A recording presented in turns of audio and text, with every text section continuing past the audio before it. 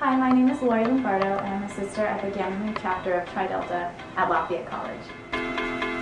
Wish I never left, did it only just begun? I'm applying to be a body image ambassador um, for a lot of reasons.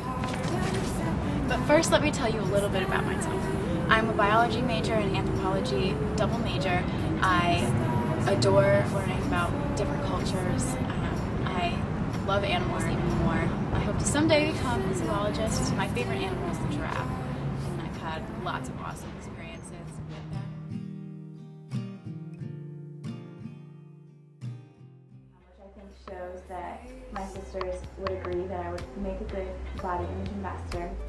I feel that would be probably the number one reason why I'm applying to be the body image ambassador for Delta, a national organization, because it's something that my sisters saw in me as well, and it really pushed me to embrace the ideas of body image.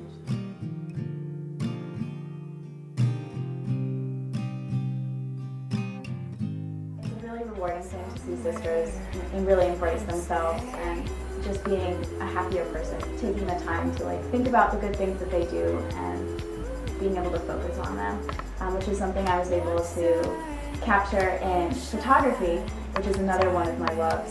Um, I take a picture of a sister and that's really great for them because I get to spend time with them and they get to, you know, have it all be just about them. Um, it's focusing on them. So it really helps them feel good about themselves. And then I pose a question for them and they have the time to reflect on why they're living life or how they're doing that. I am a very motivated and driven person. I am also very positive, which I think is super important to having a healthy mind. So in my chapter, I always try to encourage everyone to think positively, no matter what. There's always some sort of silver lining. I think through little things, uh, it's very easy to help people improve their body image, even if it's something just as simple as taking a picture of